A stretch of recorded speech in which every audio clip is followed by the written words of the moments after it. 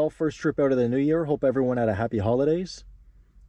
We picked up this blade south of Rochester, New York, bringing it up to Sault Ste. Marie, Ontario. It's a 49 meter blade, so not the longest, but these short blades can still be a lot of fun.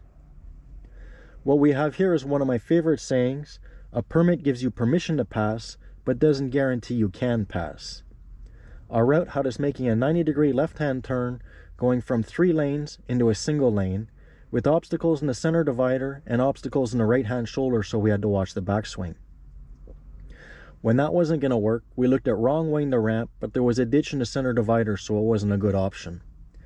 We decided the easiest would actually be to turn the load around and come at this intersection from the opposite direction. A lot of times instead of forcing a bad situation, you're better to take a step back, weigh your options, and you can come at a problem from a different angle with better results.